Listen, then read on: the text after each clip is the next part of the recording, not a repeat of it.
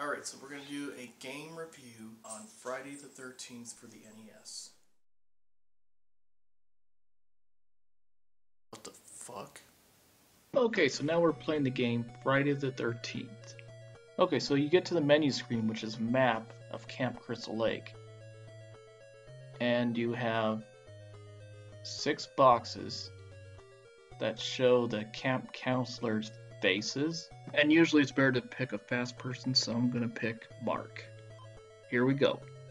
Then you see a picture on the screen of a fireplace, and underneath it says, Use the torch to light the fireplaces. Now, what kind of bullcrap is that? You gotta use a torch? What do they mean by torch? What the fuck? What the fuck is this?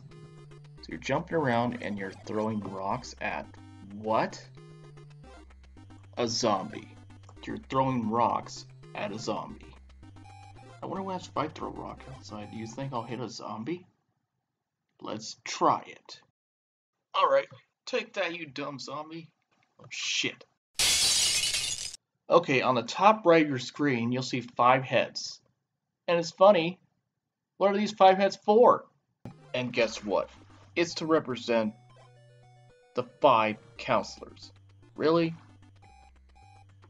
Wait a minute, I thought there were supposed to be six. Why five? Didn't it show six on the map? Also on the map, you'll notice you'll see small houses and big ones. Take for example, if you make the small houses green, the big ones red, what do you get? You get Monopoly. But anyway, getting back to the game. Okay, so on the right top of your screen, you will also have two red circles. One indicates the counselors, which is the heads, and the other below, which also says on the right side, children. Okay, so one of the indicators goes off, the circle blinks, and it's right by the heads of the counselors. It lets you know, basically, Jason is on the verge to kill one of the counselors. And the weirdest thing about it is you also got to look at the timer. Alright, so you'll get 60 seconds on the clock. And it's like, what the fuck? So where's the counselors? Well, this is what happens. You got to press start, look at your map, and it shows pinpoint accurately where Jason's going to strike. And it shows a house blinking with a light green color and you're like this red person that keeps blinking too. So there you go. Funny too, when you load the map, it shows all these different ways you can go with a red person on the screen. Now take that and put that together with a game board game that has a similar pattern with all the different colors and paths that you can take. Guess what you come up with? You come up with, yes, Candyland. Okay, so you're running along this yellow path with a picket fence. And yet it kind of reminds you of something. You put all that together, what do you get? Follow the yellow brick road, right? But anyway, getting back to the game. Also, when you come into a house where a counselor is in, you will see a menu on the middle right of your screen, and the options are change, pass, cure, and take. Now let's explain how these options work. Okay, here we go. Okay, so you'll see pink circle and now you've got all the options to choose from. So let's go down the list, shall we? Okay, so what does change mean? Change means that you change into that person that you see right in front of you. Isn't that funny? And then you have another one called pass.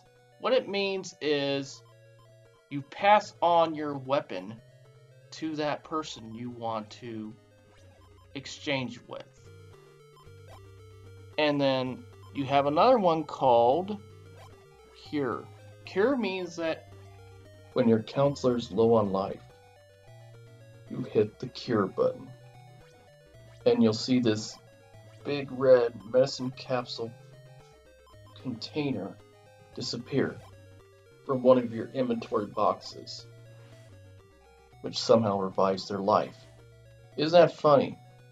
Like, why the hell's a medicine capsule so big? What kind of bullshit is this? I mean, it's as big as my wax candle in the glass. But anyway, getting back to the game. Alright, so when you get down to this other word, take. Alright, what the hell is this? You can't even take the key, you can't take the lighter?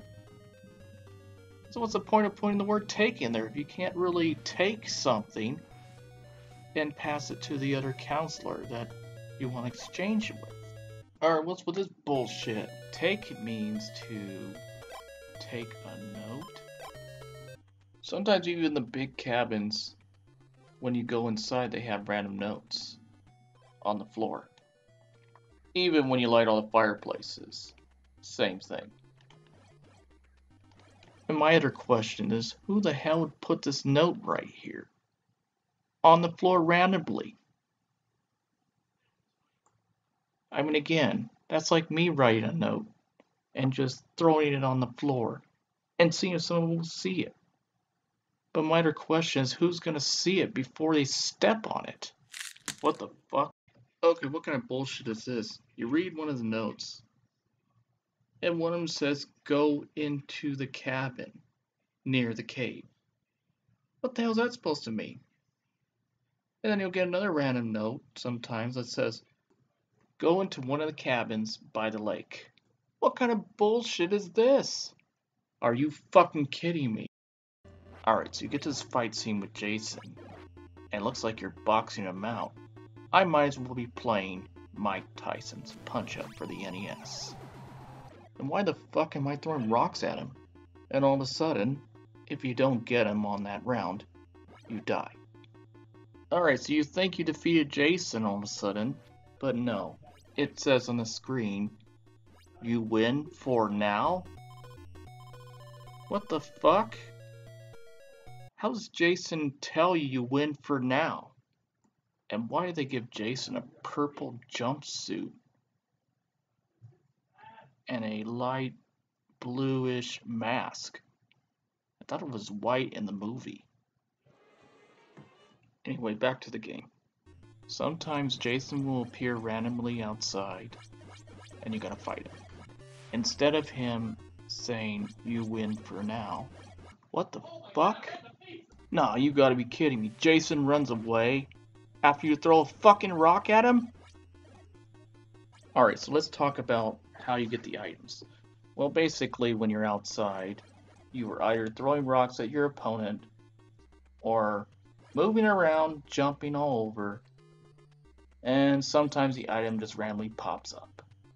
Then you gotta jump in that specific area where the item is at in order to get it. Also, let's talk about the random items that you get. For example, you will definitely get a lighter, a knife, medicine, sometimes a key, and a machete. Also, if you want to get the torch or the flashlight, you have to light all the fireplaces for the big cabins before night. And the note says you will find a torch in one of the cabins by the lake.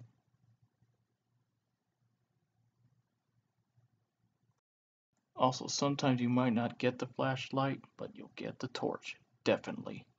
Also, you can get the axe, but the axe is worthless. And it's the same thing with the machete. You might as well stick with the torch. Alright, another thing you'll notice when you get to the woods, you can get lost in here.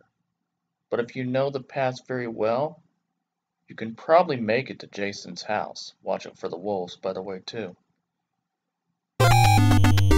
Hell are these wolves? They like freaking dogs. I guess they're related to the dog family.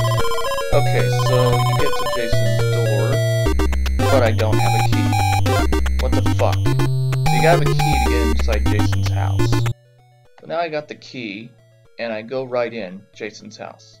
What the fuck is this? Oh, it's Jason's mother's head?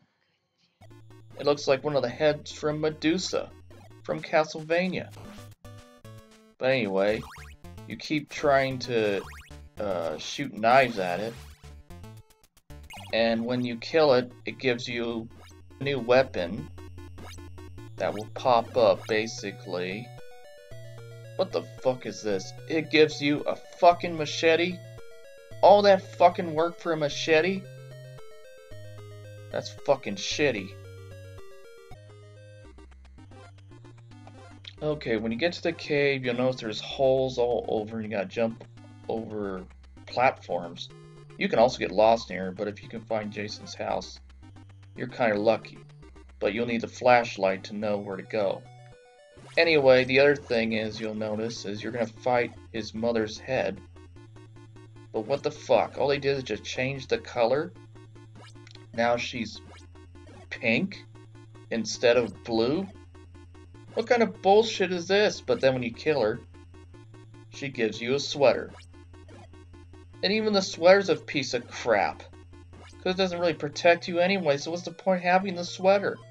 It fucking sucks. You have the sweater, which frickin' sucks in the game. Um, and now you gotta figure out how to get out of the fucking cave. And it's a fucking nightmare. I guess I might as well just take the axe. What the fuck? Alright, now let's get the fuck out of this cave. Fuck. Oh, okay. There it is. Now I'm out. Okay, so your indicator goes off where it says children with the circle blinking constantly. Um, and you have to go by a timer just like the counselors.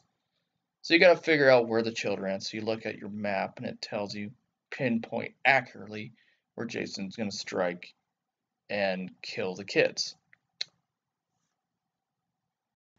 Okay, so you keep running along the path with the zombie chasing you, I guess. You're even faster than a zombie. But the other thing is, too, you're going to get to this dock. Oh, now you're in a boat. So these zombies actually jump out of water. Fucking crow, that's what you get. What the fuck is that? Jason going crazy? Just gain some minds. Thank you? Really? And what's really funny about it is sometimes if you don't get there in time, it's like they don't say thank you anymore. It's like, what the fuck happened? Jason just cut off their fucking mouth? I guess so. Okay, so now we gotta fight Jason. Hopefully this is the final match. Or round, I would say. Shoot the flames at his ass. Yeah. Axe sucks. Damn right. You ain't gonna do shit with that axe.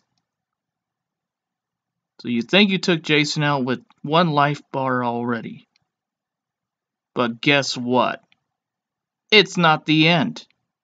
As a matter of fact, it says Jason gets stronger than ever before. What the fuck? And he's still out there and he's alive? What the hell is this all about? So yeah, you gotta fight them all over again. What the fuck is this? The zombies are all fucking fast. They're as almost fast as Mark. What the fuck? Alright, what the fuck is this? Jason is as fast as fucking Speedy Gonzales. What the fuck? Okay, I say this. I am done with this fucking game. What the fuck was that noise? Oh shit. All I gotta say is as much as I hate this game, go to hell, Jason!